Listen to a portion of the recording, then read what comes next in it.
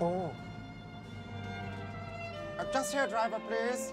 Thank you. It's time for Brian Badonde to be heard by the masses. Because the masses need to hear what Brian Badonde has to say. Oh.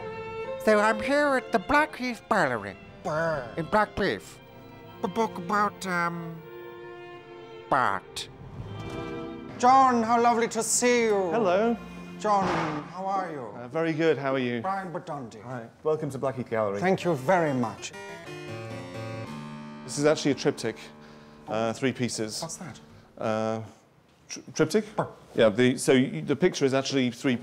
There's three different pieces of art here. One piece here, one piece here, one piece here. Oh, oh, right. It's in three pieces. Yeah. It, it seems quite triptych to me. Yes. Yes. Well, Yes. yeah.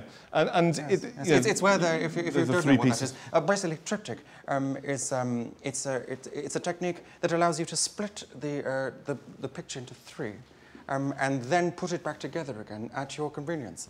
It's, it's good for um, uh, uh, transportation and things. Yes. Yeah. And I mean, a lot of the famous artists. If you think of Bacon, was very famous for his triptychs. Oh, Bacon, yes. Michael Bacon. Uh, for those of you that don't know, Michael Bacon uh, was a modernist who, um, uh, was it the uh, the 18th century? No, no. Uh, well, uh, there's been a number of Bacons. Uh, Francis, this century, the very, uh, it's very modern but uh, quite disturbing images uh, of uh, the, the, the resurrection. Francis Bacon. Francis Bacon.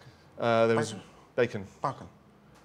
Francis Bacon. Bac- Yeah, Bacon. Bacon. Bro, oh, bacon, bacon, Bacon, sorry, sorry, I yeah, said sorry. Sorry. You see, sometimes it's pronounced Bacon. Yeah, sorry. Fr- Francis Bacon, Yeah, sorry. yes.